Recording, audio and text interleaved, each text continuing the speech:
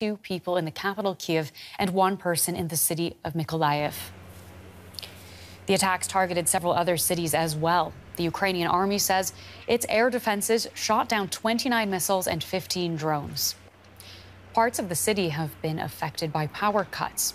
And the attack comes as EU diplomacy chief Josep Borrell is visiting the capital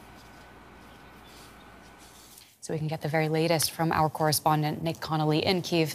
Uh, Nick, what more can you tell us about this attack on Kiev?